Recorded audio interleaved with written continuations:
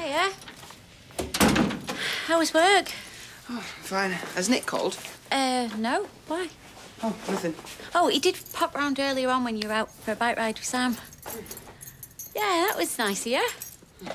So, oh, sorry, come on, don't put them on. We're talking. Well, I thought you finished. No, I was just saying. It was really kind of you to look after Sam like that.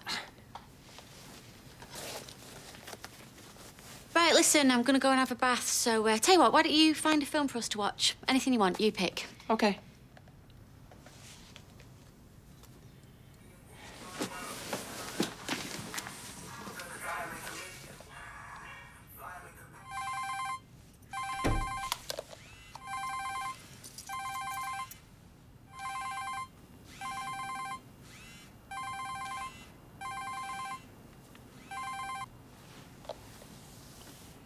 Hi, Jacob.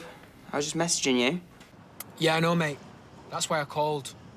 Can't be doing your slow replies. Right, come out onto the balcony.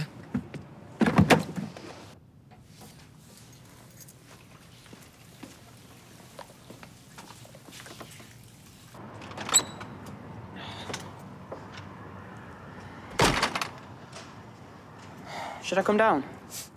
Nah, mate, got places to be. So, you got the bag back then? No, but I, I know where it is, and I'm gonna get it first thing. You know where it is?